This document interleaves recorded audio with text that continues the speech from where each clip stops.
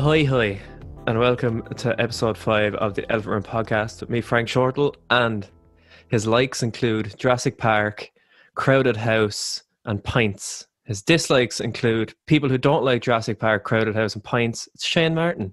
All of that was really factual. That was really good. That's a way better intro you gave me than the last time. So I'm really happy now. I, am just here to build upon my my own work. And I'm also joined by a man whose likes include the history of the Boyne Valley, Irish geography, paradiddles, and lo-fi bedroom pop. His dislikes include Jim Morrison and other such posers. It's Ian Hand. Thank you. Thank you very much, Frank. Frank, what are your likes and dislikes? Comparing people's likes and dislikes and uh, introducing podcasts. I was going to say um, you... my dislikes are uh, the awkwardness after you introduce the podcast. Yeah.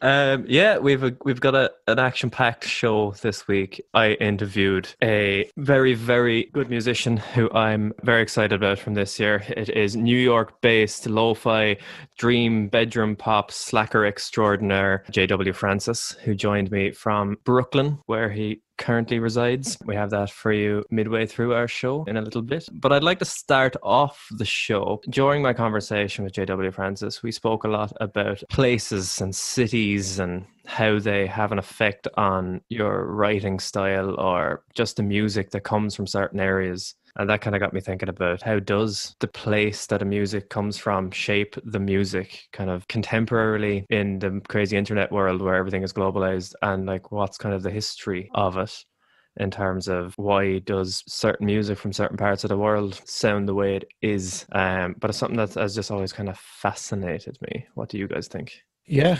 absolutely uh, there's certainly history to tell there um, I think it, uh, the the work of um, 19th century geographer Élisée Reclus comes to mind. He's, he's one of my absolute favorites in uh, back in college. Um, so basically, aside from the, the standard school of geography, you know, physical geography and that, he was a pioneer in the kind of social end, and in particular how place affected the actual human condition. You know, like a, a social ecology or like a cultural ecology, nearly how uh, where you live, the land itself, what you do day to day affects inextricably affects is linked to you know how you go about your your life, be it your entertainment, whatever. And very interesting part of it was um, he touched on music. Um, now he didn't do it in every single place he looked at, but uh, there's a few excellent examples. Um, so he he spent a lot of time in Louisiana uh, mm-hmm. in the kind of 1850s, 1860s, nearly around the Civil War, just before the Civil War, and um, he noticed that a lot of the uh, slaves, you know, the, the, the you know they work the land, you know, they're on their their uh, cotton plantations and that, and obviously the work is, you know, it's incredibly mundane, it's backbreaking, and the only thing that uh, he noticed that really kept their spirits going was singing. You know, uh, singing along these very rhythmic things. Now he said they weren't necessarily melodic, you know, but they were very rhythmic. You know, they had a real rhythm to them and a pattern and uh, he, he, said you could see it, you could observe it as they were picking the cotton. You know, like uh, they were singing these chants. Um, now he didn't really coin anything at the time. He didn't say, "Oh, this is blues" or anything like that. You know, this is way before then. But you can see how you know their situation there. Like um, ba- basically, what he was trying to extrapolate was back then, before pre-mechanization. You know, this was a very mundane task for humans. You know, to work the land, to work arable land, basically, and to get through that. You know, they had this outlet of music, you know, to sing along to. Um, and another example that he looks at, um, it's, it's quite curious. I don't know why he really highlighted it, but uh, Georgia, um, mm. so you know, way over in the Caucasus, like you know, uh, near Russia, and apparently very same thing. Um, now he actually does highlight that it's a, it's a bit of a different situation there. Like there weren't slaves. Um, they they they kind of overthrew their their big oppressors uh, at this time when he was writing in the mid eighteen hundred mid eighteen hundreds. So, but he did say there was still this kind of nearly indentured servitude kind of going on you know so mm. they were still you know yeah you had this big kind of serfdom this kind of lower class basically working the land and again working this mundane task this land this arable land this place it gave rise to a lot of what we would see now as present day melodic Georgian music with the uh, balalaika, the three stringed uh, kind of guitar they have. Yeah. That uh, a lot of that music centered around those early days of work in the fields. But yeah, no, I, I just thought it was uh, it's one of the one of the earliest examples of a geographer making a direct link, you know, from a sense of mm. place and where you are and what it can actually do to you culturally, you know. Yeah. David Byrne mentions it in his um, his book. He mentions that like why rhythmic music came from Africa is because they were never enclosed. They always played music they didn't have concrete and stuff like that around them and it's quite primal and stuff and a lot of like ancient african cultures always have it's just rhythm. It's like hitting drums and all this like uh, polyrhythms come from africa usually because when we the europeans and stuff like that were developing their music and different things it was always enclosed in churches and the reverb for rhythms and stuff sound horrendous inside these big cavernous type places. Whereas out on the actual land where there is no reflections of stones or anything like that, where it's all very open, rhythms sound amazing, like hitting drums and stuff. And that's mm. obviously why Gregorian chant and everything sounds amazing yeah. inside churches and getting those kind of first forms of harmony that like the the drones of chant basically sounds great inside of temples and churches and stuff like that. Even if you want to go over to the east and Asia, they had uh, Buddhist chants and Hindi chants and everything. It sounds these long held notes sound amazing inside human structures, whereas rhythms don't. So a lot mm. of these cultures that had religious structures where they develop music rarely have percussion because it just it doesn't sound good inside there. It sounds better to hold notes and resonate, organs, all these sorts of things. Like that's why organs were built into churches and yeah, the acoustics of a place has a lot to contribute to the the type of music that develops in a certain place. Yeah, it's really interesting actually uh, when you think about it. When it's so funny that you mentioned Crowded House at the start there, Frank. But um, they recorded an album out in the middle of nowhere, out in Karekare Beach.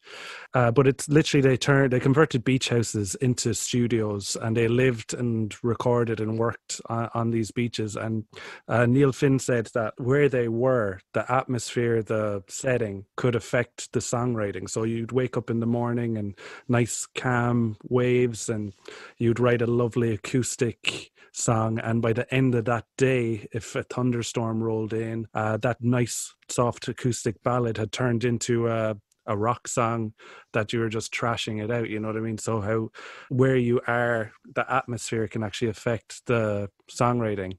Absolutely like there's always the the singer songwriter, people who go live in cabins and all that sort of stuff to get more uh, acoustic, you know, isolation type of things because you, you inevitably think when you're not surrounded by stimulation. So you do come out with quite introspective sort of music when you go live in isolation. Mm. Um, and also, if you live in a city, you come out with very uh, human based stuff. You know, you'll be singing about sex, drugs, and rock and roll if you're just if that's what you're around if you talk about ethnomusicology with like where music comes from like what myself and ian were talking about what you touched on there mm. why music comes from a certain area you've always got to look at the crossovers of cultures and when places were colonized and when music got transported, which you can literally talk about for hours and it's still being studied to this day and written about. I think the quite hmm. interesting one is what happens since musics that are being recorded is that everybody can use it. I suppose the, the prime example is that of that is the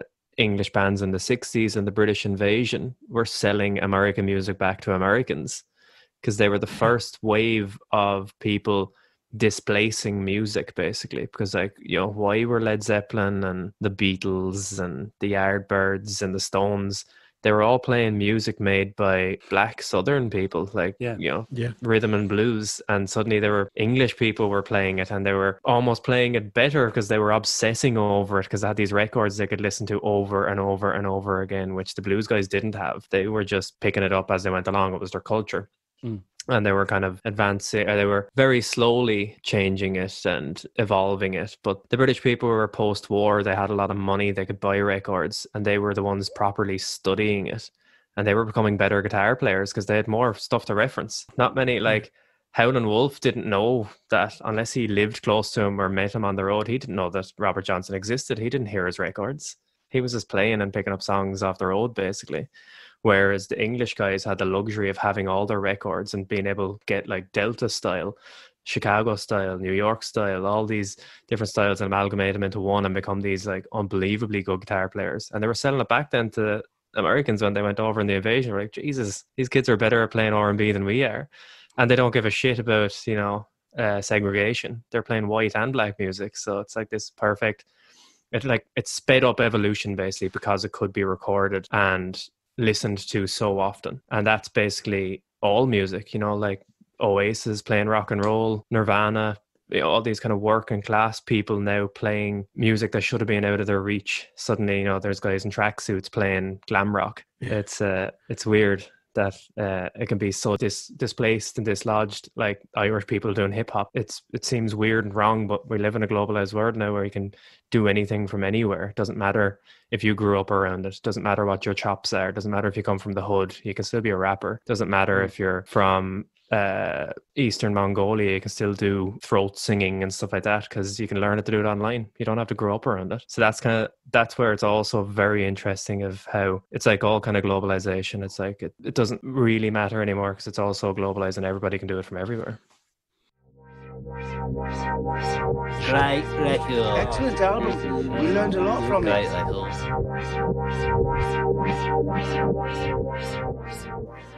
And welcome back. For this week's album section, I spoke to New York based artist J.W. Francis about his new album We Share a Similar Joy, which was released through Sunday Best Recordings on the 7th of November, just gone by. Uh, we spoke about everything about uh, New York's music scene, its current state now with the COVID restrictions, and all his influences and everything that went towards making the album. So without further ado, here is J.W. Francis. Well, hey man, how are you? Hey, what up? What's happening?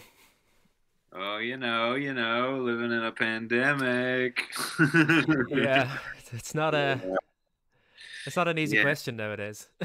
yeah, exactly. It's a very complicated moment because there's so much hope, especially here in the US with the election with the vaccine and everything, but there's also a knowledge that it's about to be a very scary winter. So yeah, yeah, it's kind of a double edge. The light is at the end of the tunnel, at least. That's the way I look at it.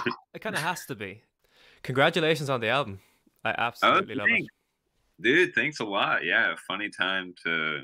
Yeah, I finished the album like a year ago, so I was kind of sad that I didn't come out with it then when I could do like a big show or something. Yeah. But I was just I was just looking to like you know properly release it, find someone who could make some vinyl about it and uh, get it out there because it's just it's you against the world, as you know, with yeah. music when you don't have anybody helping you out. So so yeah, it was funny, and it's funny that it ended up taking it was it, that it ended up being a UK label, and um, them being connected. Because I don't know if you know, I guess Sunday Best was started by this guy Rob da Bank, which is a hilarious name. Um, That's amazing. yeah, who is uh, this, or I'm not sure if he still is or was a BBC DJ, but because of that, it's been getting a, a, good amount of airplay on BBC. So my listenership has actually complete, like my top cities used to be New York, LA, Chicago, and now it's uh, London, Manchester, Glasgow. and I'm like. Yeah, it's amazing. I'm like, I gotta get over there. I yeah. gotta get over there and play some shows. But you know, virus willing, next year we can we can pull that off. But yeah. yeah, I was gonna ask actually when you have like you lived in Paris, was it? Yeah, so we moved there when I was 13. My family moved there when I was 13. My mom was like following her dreams. We're not French at all, although now she's actually naturalized French citizen. Um, but yeah, so formative years from like 13 to 19 years old, I was in Paris. I went to French public high school, ha- had no choice but to be fluent, like just yeah, thrown into the bathwater. Um, and it's a cool play. Obviously, it's fucking Paris. It's mm. great, but but um, but yeah, coming at it from a American, I was always the American in France, and then when I got back to when I got back to America, I'd never been to New York, but when I moved to New York, I was very briefly the Frenchie, but I was always so American in in France that I I I kind of dropped the French. I'm this is I hope this doesn't make any French listeners angry or whatever, but I'm this might be offensive, but I'm way too smiley to be French. uh, like they spot me out in the middle. they, they know exactly I'm not one of them. yeah, I, I've actually I've been to Paris many many times. And, Yeah. Um, yeah, it's one thing I always know. You kind of if you're with a friend and you're kind of laughing and joking on the street or like on the metro, everyone kind of Yeah. looks at you as if you're weird. yeah, a little faux pas almost. Like obvi- like obviously you can laugh. It's not illegal to laugh and stuff, but especially if you're doing it in English, it's they're just like, come on, y'all. Yeah. cool." uh, have you played over there as like Yeah. JW Francis? Yeah. Yeah, I whenever I, I I started this project in 2018, so when I and I go back for Christmas to be with my family, hopefully I can. Well, I'm gonna make it this year. I just have to because there's no other option. But Mm. um, we play. I play like a yearly Christmas show at Supersonic. Oh, sweet. If you know that place, yeah, it's near the Bastille. If you're ever there, I highly recommend. Whenever shows were a thing, Yeah. they did um it was free entry before like 10 p.m so you could just go there hang out until the band started and you get a free show which was always awesome um That's really yeah. cool. And whenever i'm over there i obviously can't afford to bring to fly four other people with me to play shows so my dad plays drums so he'll he'll play drums with uh he'll play drums for the band uh when i'm over there which is special. That's really cool. Because I've heard people yeah. uh, like one of the coolest things I've always thought is when uh, artists like yourself, when you come to Europe or somewhere, you'll have a band like a European band. You'll have a Exactly. And that's what I've done in the past. I actually played when I was there. I was there last fall because my day job brought me there, and they don't know that I'm a musician, and so I every single weekend I went to a different place, and uh, just sometimes would have to play sick on a Friday or a Monday. But I on on the internet I called it like a European tour but really I was just like taking my weekends like where wherever and and yeah, it's so much fun. I mean, honestly, for most most people can't really imagine the stress, or like I, I mean, they are like wouldn't be able to handle the stress of like finding a local band, you know, coordinating with them, making sure that you know having one rehearsal day of, if you're lucky. Normally, the rehearsal is sound check and especially with solo projects because when a solo, a solo project kind of implies that you're a control freak and you can't really work with other people very well but um but that's not really my mentality at all it's just kind of like yes like whatever this sounds like it's gonna be what they get that's like so. Do you contact the people before you go?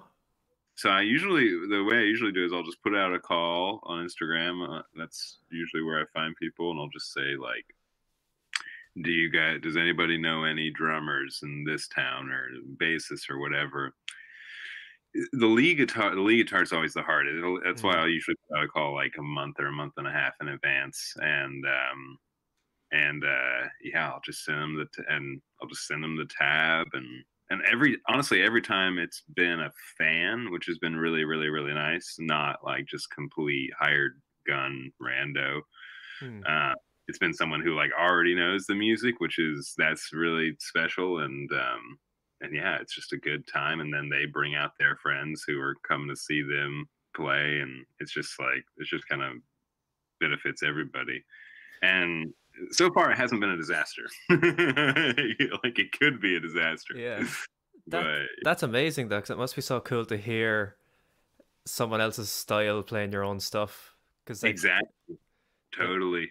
Sometimes it'll be like a hard rock kind of set and sometimes it'll be more of a jazzy kind of set like yeah i remember this guy played i have a song called the when the train goes by Mm. and this guy i got a keyboard player and he was just like vince Guaraldi on that thing just like blah, blah, blah. i was like that's not what people are gonna are expecting but i'm down for it i'm like i'm yeah let's go let's go That's really cool. See, I I'd love that. Like, I'd love to yeah like come see Yeah. someone that I'm familiar with, and then you get to the show, and it's just like, yeah, this crazy Yeah. different type of band behind you. Exactly. Yeah. And I always, and that's the thing is like, it doesn't matter if we mess up because pretty quickly people understand that the vibe is just like having fun with a live show. I'm not trying to mm-hmm. recreate the album. I'm not trying, and I, I'm really impressed when bands do do that. Like you get a band, like I've seen like Beach House, and like Beach House is like a phenomenal live act, and they sound exactly like the record, and Yeah. it's you're immersed in the space, and they have the light show, and it's amazing. But if one of them played a wrong note, it'd be like, everybody would be like, "Oh my god!" But like, I'm playing wrong notes all over the place, but it's just it's just a good time, Yeah. you know. It's, it's you play everything on your recordings, yeah? That's you doing all Every- the instruments. Everything but the drums and the and the percussion and stuff. On that first EP with like Joe Fusco and stuff, that was all me. And then Sahil, my friend slash producer, just mixed it all. And then the next record, he was the well, this one that just came out, he was like, "Why don't we do it together? Because I can make it sound good." and so I was like, "Let's let's do it." And yeah, he's just. Uh, in the beginning, I was I was I started with doing the drums. He was like, do you mind if I? Because he's like a real drummer, and I was like, well, yeah, why don't you take a shot? And then I was like, okay, you're doing the drums. so, so yeah, that's that's that's how that's gone. That's amazing. Like like it's being able to play everything yourself is pretty cool. But when you have someone who really knows their way around an instrument, you're like, yeah, actually, you're like, actually, yeah, because I'm not because I'm not too married to the whole myth of like one man doing everything. Like someone puts on Tame Impala and someone's like, you know, it's all one guy. Like it's Mhm. like that's cool, but I'm not. I don't. I don't really care enough to to do that. Also, like. I think that I think there's just a lot of merit to, to giving up control where you can, you know. Like I Mm. think it's I think it's going to make something more interesting. Not to, sh- and then the, this will bring me to. So the the guy I obviously get compared to a lot is Mac DeMarco because I wear a hat and have a, have a, a jizzy jazzy guitar or whatever. Um, but like he's an artist, not to throw shade or anything, but he's an artist who like you know does everything himself, engineers, produces, does all the instruments, and like I think it was good for a while, but it's almost become to a fault on the last couple records, in my opinion. He, it's just kind of gotten to this point where it's like boring, kind of, or like sending in this chillness that is like too. Chi- it's just boring chill at this point. I'd Which I- 100 percent agree with that. Yeah, yeah. yeah like if someone else was producing his stuff it might like it, it could he could really benefit and i think he's actually kind of woken up to that idea because the last couple of months he's come out with like four or five collabs with other people and i think that's those are sounding like a lot more fresh like Mm. but yeah better groove I think, as you said, like the comparison, people saying that it's like Mhm. It's kind of a inevitable. He was like kind of the Beatles of the internet era sort of thing. So if you're if you're anyway slightly like him, everyone's gonna go, "Oh, you're like him." It's like, well, if you actually Yeah. listen to it, it's not really.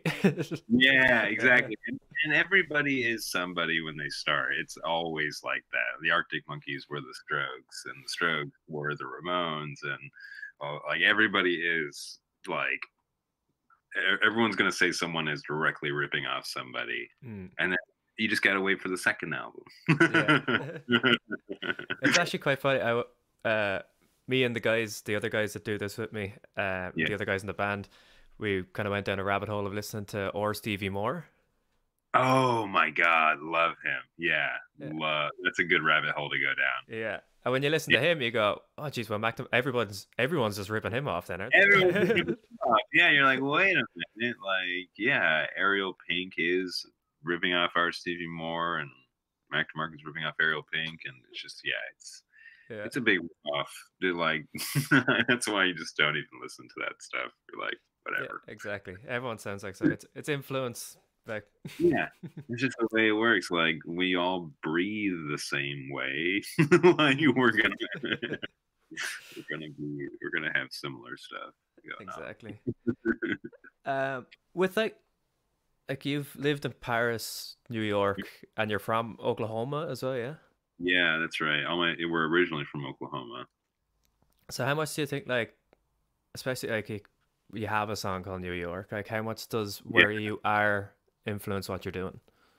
Oh, uh, a hundred percent. I mean, I'm I'm really someone who tries to be totally present, or like you know, I love to just kind of fully immerse myself in my surroundings and and absorb it. And I'm also a little obsessive. Like I just like to know things about what I'm looking at or where I'm standing or whatever. I'm a tour guide of New York, so not that's not my that's a kind of a side gig, but Yeah. it's it's a license I got, and Nice.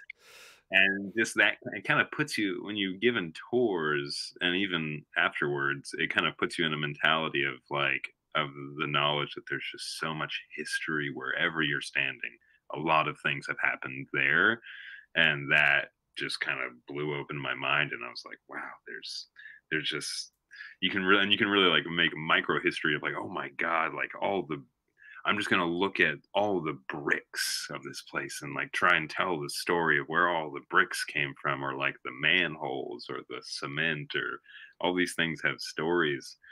And so, definitely when I'm writing songs, I'm just like in the place where I'm at. if that makes sense. Uh, and um, I'd say mm, I'd say definitely place has a huge part of it, but people is probably bigger for me. Like a lot of my songs are about specific people or about relationships with people.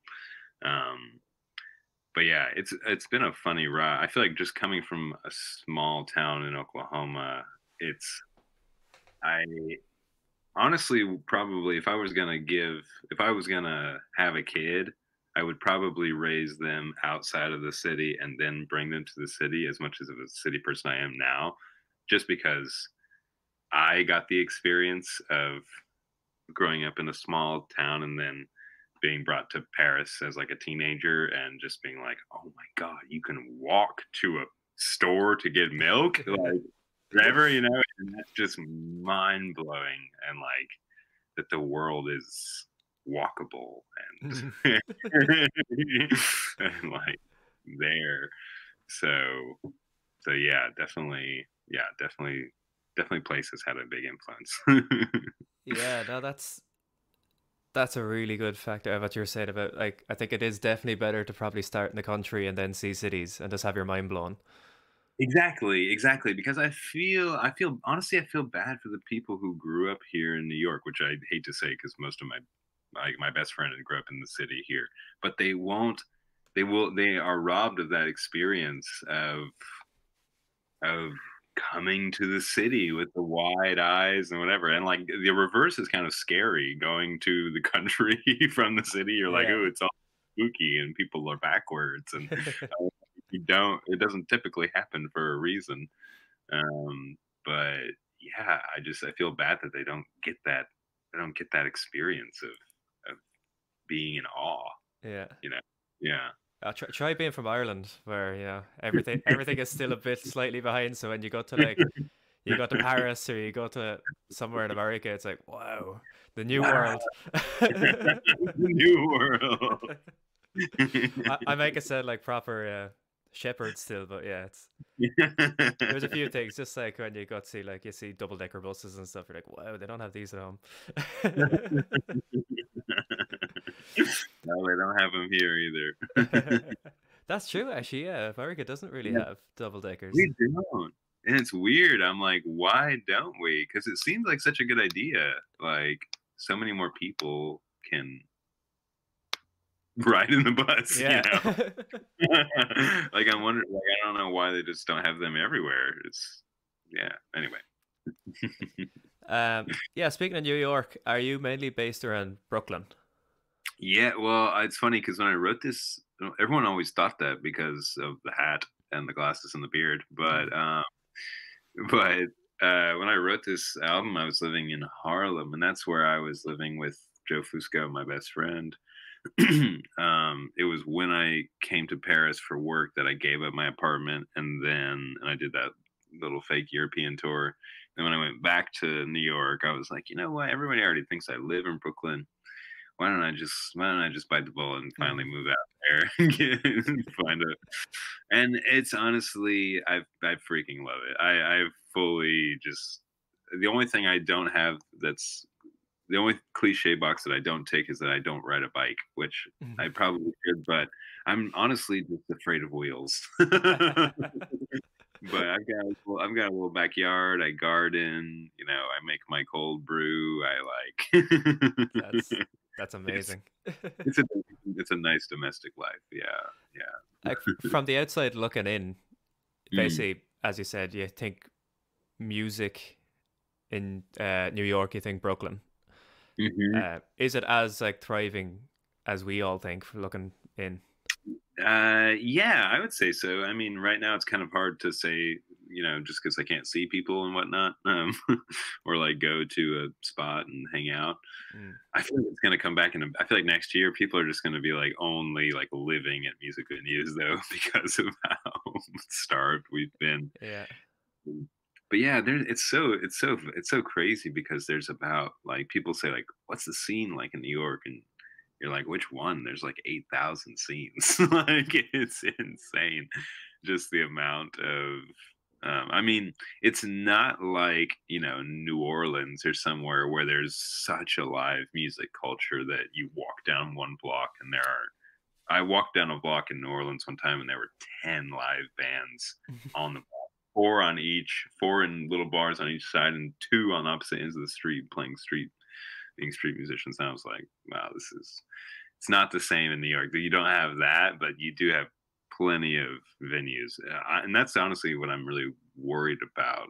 One of the things I'm really worried about in a post-COVID world is how many of those made it through this long winter. You know, there's Yeah. not really a good.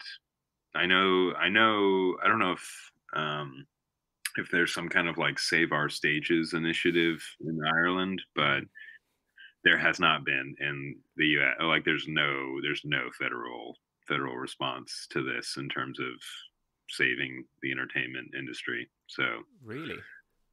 yeah, which has been really bad. I mean, um, Amy Klobuchar, funnily enough, um, intro- tried to introduce a bill. I don't think it passed though. About like, I mean, but even if it did, I'm, I'm pretty sure when I looked at that, that wasn't really for like the small independent venues. It was more for the Bowery venues and stuff.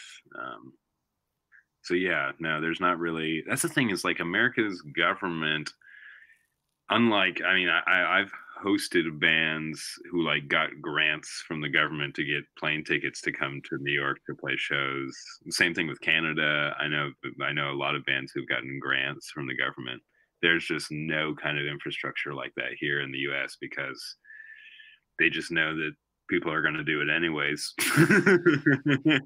And they don't really have to throw any money because there's so many people just trying to make it here so which kind of makes it a rough environment for surviving. But Yeah, absolutely. Because as I said, from the outside looking in, you just see all these bands come from New York or Brooklyn or yeah, Seattle or whatever city it is that you see everybody coming from, Mm. and you kind of think, oh, wow, that place must be thriving. It must be a great place to go be a musician. But it's it's it's all DIY, isn't it? Yeah.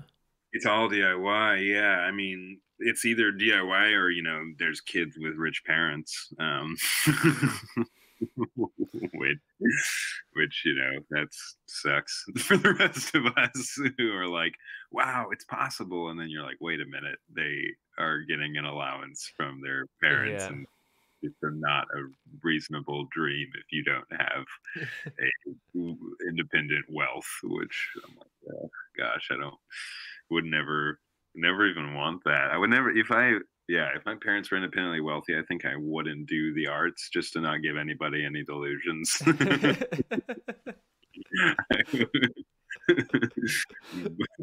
but um but no, I mean a lot of people, especially during this time when the city has rem- the rents have gone down a bit because of all of this, but um a lot of people have moved because the reason we're in New York is to meet up with people and play shows and meet people, and you can't do that now. So a lot of people are going to Philadelphia. Philadelphia is only like two and a half hours away, um, and they've really, I mean, like talk about thriving DIY scenes. They've got like thri- like complete apartments that are just bands living together kind of deal, like a different, a different, more punk Nice. uh, thing going on. Yeah, I mean, I've even been like, should I just go to Philly? But yeah, that's the weird thing about music. You've got to chase at places. yeah, exactly. Yeah, stay alive. But uh, yeah, with your new listenership, when we get the green light, please uh, swing by Ireland on the way. Oh, of course, man. I've yeah, I've actually had a couple people in Dublin be like, "Hey, come on down." Like, Yeah. "Oh, I would love to. As soon as I can. yeah, we're trying to we're trying to spread the word about you as much as we can here, just to Hey, and like I haven't heard anybody saying that they disliked it or anything. like It has oh, it's been, great. it's been rave reviews, so you'll Oh, definitely man. you'll definitely have a Um, crowd. Yeah. I'm about to put out something kind of controversial, actually, which I've, I started. I started. uh, Do you ever use SubmitHub for your own stuff? That's Yeah. actually how I found you. Oh no way! Yeah. Oh cool. Yeah. Yeah. So I started. So I um, I'm coming out with a surprise on Friday. It's a Christmas EP, Yes. and which I'm excited about. Like I've been thinking about Christmas since March, honestly. Um, and I recorded in July, and so it's a really funny. I I I, I love it, and because I, love Christmas and whatnot. But, but I've been submitting it to all these places, and I've like only gotten rejections What? because I. because one, people are either like, you know, we're an indie blog, we don't cover Christmas stuff, like Christmas is not cool kind of deal, Mm. um, or they're like, uh, it's just way too early for Chris. It's not even December yet. And I'm like, but the people need this now. You know, I mean, I, I, I a little bit agree. In America, it's like against the law to listen to Christmas music before Thanksgiving.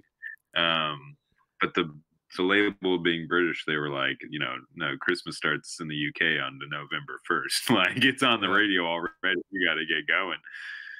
So, so we'll see. Now, I'm I- now I'm just a little nervous. Everyone's gonna be like, "Oh, Christmas is lame," or, or, like, or "It's boo, it's too early." But we'll see. We'll see. No, that, that that's just made my day. I actually I spent a while on Spotify compiling a Christmas playlist, Oh, great. Okay, well, and if have- you could provide me some songs to that, I'd be chuffed. I got you.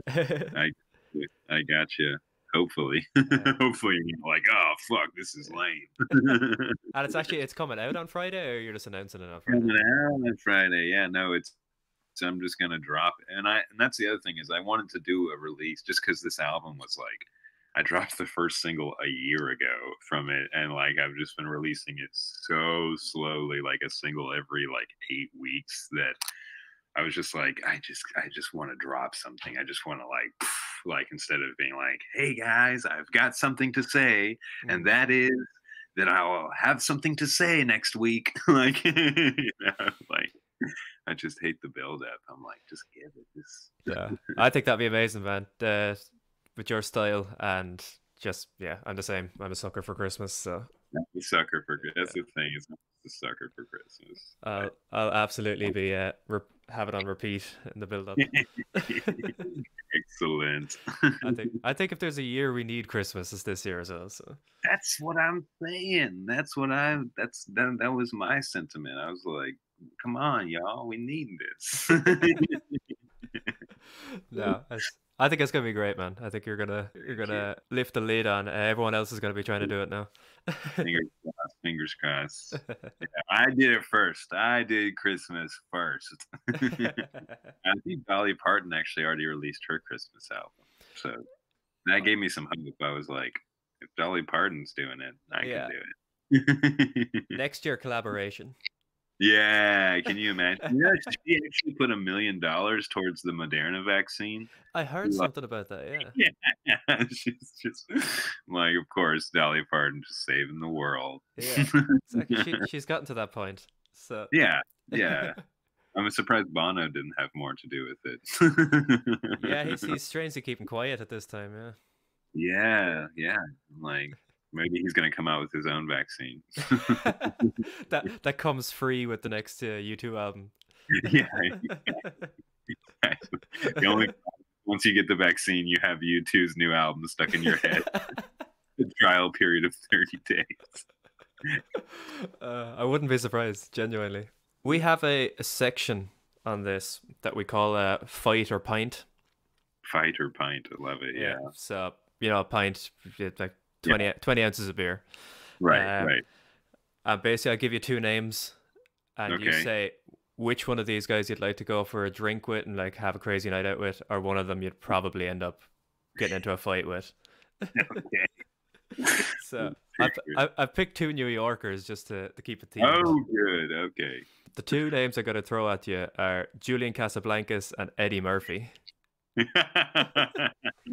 Honestly, I mean, that's it's really easy for me. Both, I would definitely pint it up with both of them. Um, yeah, they're. I mean, come on, they're both. They're both. Eddie Murphy's the most hilarious man on earth, and Julian Casablancas is a is an amazing songwriter. But I've honestly been like very.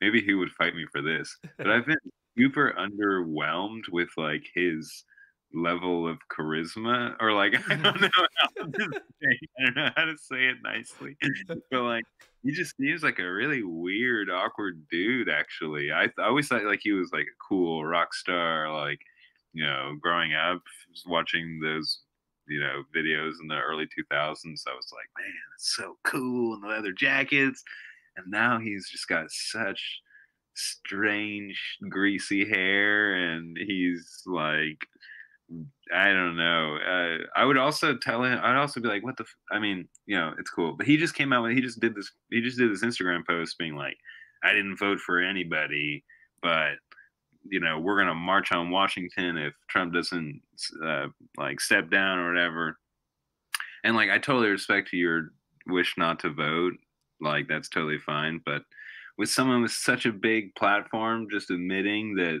he Mm. didn't in the most important election it's just like not cool dude like i mean but yeah he's cool he's cool Yeah, right. I'm satisfied with those answers.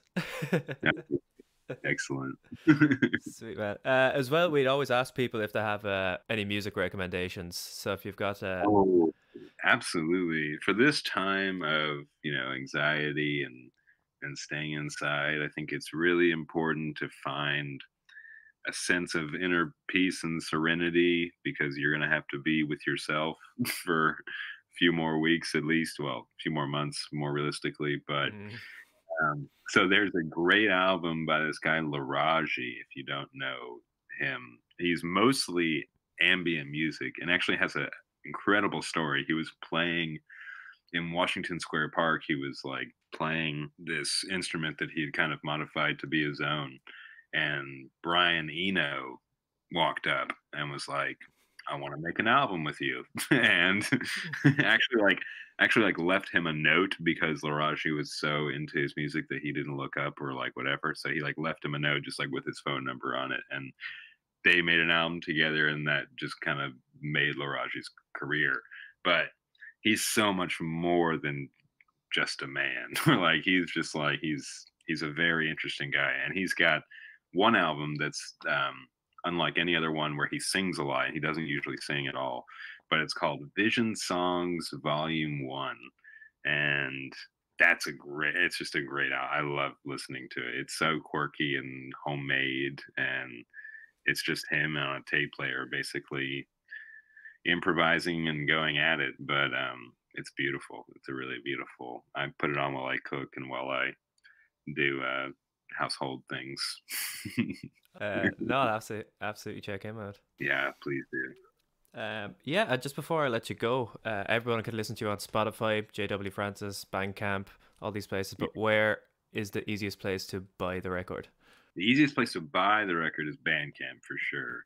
And I think they're still doing him on, I think they still do Bandcamp Fridays every Friday. So if you don't need it by Christmas, because I think they take a little bit to ship out, um, if you don't need it by Christmas, then for the sake of my bank account, it would be awesome if you waited until Friday.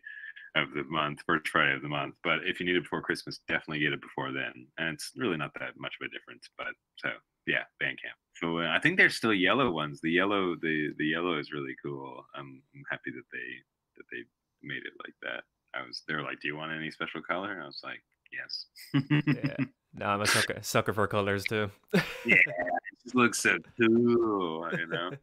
Like, yeah, cool. yeah, I think we're good to uh, close it up there. Cool. Well, thanks for having me, dude. It's super fun, and yeah, I'll I'll let you know as soon as I make it over there, man, to Oh. Ireland. You let let you let me know if you come to New York. Absolutely, yeah. Go on. Yeah, you too, man. Enjoy your day. you too, man. See ya. Tired of that off white smile? Can't get that new job, promotion, or someone special? Then look no further than Fitzsimmons Dental Clinic. Hi, Dr. Michael Fitzsimmons here, and we have a very exciting new product for you that will unlock that pearly smile. No, it is not fluoride, nor is it bleach, and it is certainly not laser therapy. It is soot. Yes, you heard me correctly. Soot. Straight from the Irish co-op of fireplaces of Midlands Island. We have their spokesperson, Tony McLaughlin here. Tony, please explain to us how soot can help you have that pearly white smile. Well, sure you know, back in the emergency now, uh, we had none of that fancy toothpaste around like that, so you know we just um, we just used the salt uh, in the in the fireplace, and sure, God, was great and pearly white and the strong teeth. You know, sure, it's great. It, it, it saves money as well. Yeah, fantastic. There you have it, soot, verified by countless generations in the Midlands of Ireland and elsewhere, and now bringing it to you, Fitzsimmons Dental Clinic.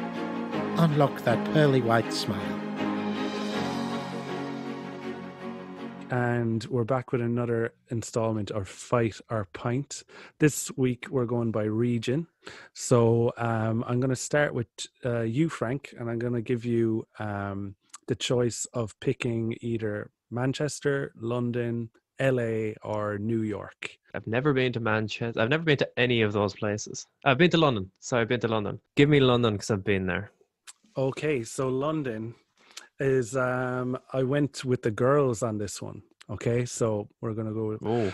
Oh, God, yeah. this is it. um, Elephant Room go down in infamy. uh, no, no, no. It- all right, your choice of names are Amy Winehouse or Oh. Florence Florence Welch from Florence and the Machine. I've got, I'm going to be PC here and just choose the one that I prefer. So I'm going to say Amy Winehouse, I definitely prefer. So I'd rather spend some time getting along with her and having a drink and having being in good spirits Then Florence, I'd arm wrestle. Yeah, well, she'd have the the machine to back her up as well. Like so, Game game of tiddlywinks. Well, if the whole lot of the machine are there, there's like 13 of them. That's that's not fair. yeah. Amy Winehouse, uh, she once heckled Bono at the Q Music Awards. So while he was giving an acceptance speech, she reportedly shouted, "Shut up! I don't give a fuck." so I like, I really like that. Um, she wrote, That's why you're going for a pint with her. yeah, she wrote her song "Rehab" as a joke. Um, she she sung the hook whilst uh, walking around Soho with Mark Ronson, and he turns around and asks her whose song is that, and she was like, "No, I just kind of made it up there." And they headed straight to the studio to record the song and finished the song that day. Florence Welch, fun fact about her is in an interview, she revealed that she's been suffering from dyslexia, anxiety, and dyspraxia uh, from a young age. So she decided to channel her frustrations into songs, uh, focusing on her musical career. So that's what drove her to write and record music. So I thought that was quite interesting. How could you fight these people, Frank? Yeah. like you give me Florence Welch, who's, who's who's overcome all this adversity to be who she is, Do you, and Amy Winehouse, who suffered a horrible end, and you make you. I you said, I said trick it- me into saying I want to fight one of them. I think it's funny that you always pick I the had my fun. That that always is going to get you in more trouble. Um, Ian, so uh, fight or pint by region. So first of all, your region. What's left is Manchester, L.A. or New York. Ooh, Where do you want to Um, go? I've never been to any of those three, so uh, I'll go with the Big Apple, New York. New York. Okay, so your first one is the Beastie Boys, and your Oh, second cool. one is Wu Tang Clan. So fight or pint. Uh, well, Ian,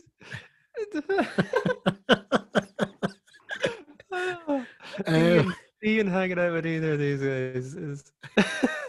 well, I, I, I definitely had a lot of time for uh, Beastie Boys back in the day. Um, some really nice tracks. Uh, yeah, I'd, I'd I'd like to have a few pints with them. All right. But you're Uh, gonna fight. You're gonna fight the the Wu Tang Clan. Yeah, I mean, I probably wouldn't survive, but yeah. Fun facts. Um, we'll start with your uh, Beastie Boys because you're going for a pint with them. So Beastie stands for Boys Entertaining Anarchistic States Towards Internal Excellence. They their first kind of big shows, which I think this is bizarre, but the Beastie Boys opened for Madonna during her 1985 The Virgin tour. Imagine going to see that that gig. Just the Beastie Boys followed by Madonna, and imagine being into all of it. People would have been like that. Now that sounds weird, No, but in the eighties, Madonna was like punk. It's like she had a lot of respect from like the likes of Sonic Youth and Nirvana and people like that. you're you're you're you're fighting the Wu Tang Clan, and you know it's not going to be an easy feat because Oh. one here's one unknown fact about the Wu Tang Clan is many of the Wu are vegan or vegetarian. They could just eat chips all day Yeah. um, and jellies. that, that that that was like uh, a few weeks back. Frank, remember? You had nothing. You literally had nothing but chips that whole day. Yeah, I had a, f- a full day there a while back uh, before we went into the studio. I met up with Ian and I'd just been eating chips all day. And not even good chips. They were like reduced to clear Centra chips. what I also found interesting um, as a as I was researching these extensively was um, the GZA, uh, nicknamed the Genius, really is a genius, and is is well versed in quantum physics, and he's even worked with physicists to comb out any inaccuracies or inconsistencies in his science inspired music. Uh, he's been fascinated with physics as a child, and he's passionately pursued his interests into adulthood. Uh, in 2010, he spoke at Harvard University and since has visited other institutions and met with high profile scientists, even doing his own TED talk on the topic. So that was your uh, fighter pint by region. Did you enjoy yourselves? Um, I, I definitely didn't hate it. Okay, good. That's It was the um, a trip around the world. This is crazy. This is crazy. Prices are insane. Come on down to Sexy Sheila's Sex Shop, where we're having our end of year sale. We carry the largest selection of dildos and vibrators in Munster. Into a bit of slap and tickle? Who isn't? We got lubes, lingerie, handcuffs, restraints, blindfolds, masks, butt plugs. You betcha. We're just off the Kinsale Road roundabout. Open all hours. Come on down to Sexy Sheila's Sex Shop.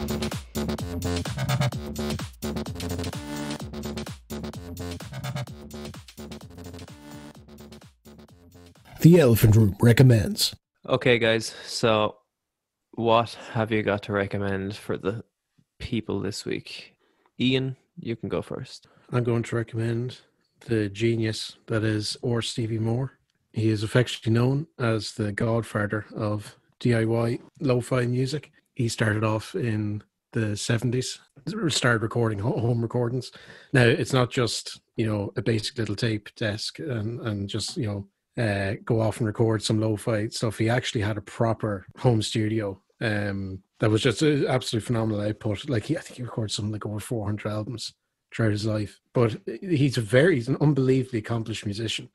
Uh, he's multi instrumentalist. He did have a very, very brief career at the start in the kind of late 60s, early 70s as a session musician. So his dad was actually an incredibly famous session musician in Nashville. He played with the likes of Elvis Presley in that. Anyway, R. Stevie Moore, he tried his hand at session stuff and he just, he absolutely hated the whole thing. You know, he, he really hated the approach of session work yeah, he literally retreated back into the basement of his home and created his own studio there. And um, if I was to recommend an album, probably uh, his 1976 work, Phonography.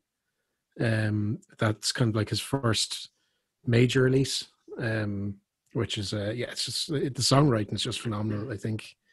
Um, I was speaking about it earlier there with uh, J.W. Francis, definitely like a precursor to Ariel Pink who worked with them, Mac Yeah. DeMarco, even even Jonathan Richman. Like it, it's before he came along. Yeah. Um, so yeah, when you say Godfather of bedroom pop or lo-fi, yeah, it's absolutely. Shane, what juicy morsels have you got for us? Um, just to be slightly different, uh, this week I'm recommending um, the Defiant Ones on Netflix. So it's a series I started watching, and it's it just basically follows um, Jimmy Iovine, who uh, was a music producer, and he recorded like likes of Tom Petty, um, Fleetwood Mac, um, Bruce uh, Springsteen, and um, it follows him and Dr. Dre, and they're both kind of rises in the music industry. How they initially it's them apart and their respective music careers, and it's kind of working towards them working together. But it's just really interesting from a point of view, just want a good insight on how the music industry actually works and how what a producer actually does and like what i found really interesting is how even for the guys in the hip hop world how they could make it you know from the outside you've made it you've got a record deal and you're on MTV with a music video and be penniless. There's a facade to everything that we see you know obviously in the music industry.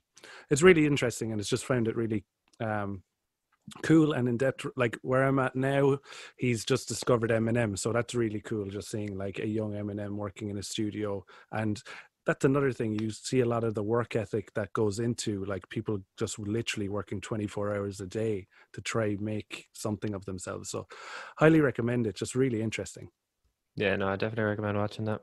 Mm. My recommendation this week is uh, Irish band uh, Easy Tide. They're from Navan and they have just like a prolific amount of work up on Spotify. Their last album, Cigarettes, in 2017, is just unbelievable start to finish. They record everything themselves in um, their own studio called Fenor Lane, just outside uh, Slane, in between Slane and Navan. But yeah, it has a real signature character to it that only comes from when you record yourself without going into someone else's space and recording in their studio. They do it all at home, so they get this real signature kind of dirty sound. They're uh, similar to bands like the the OCs, massive distortion sounds, big bass sounds, but as well like their songwriting is really flawless. They have really catchy choruses, good lyrics, and they're Irish. They're they're one of those not talked about, genuinely good Irish bands that are very hard to come across in Ireland because most of the stuff that gets talked about is, let's face it, shite. It's overhyped and not good. These are one of these unhyped Irish bands that everybody should be listening to, only they're not. Uh, there isn't the right. Uh, there isn't the right nepotism to get the heard and seen. But yeah, they're constantly releasing singles and albums and all DIY and all doing it themselves. So get out there and listen to them. Yeah, so that's all I recommends. Are we good to finish up there, guys? Yeah, I'm cool with that. Cool. Thanks for listening, and we'll talk to you next week where we'll have more guests and more trivia. and thanks See to jw francis for being on Absolutely. Fair play.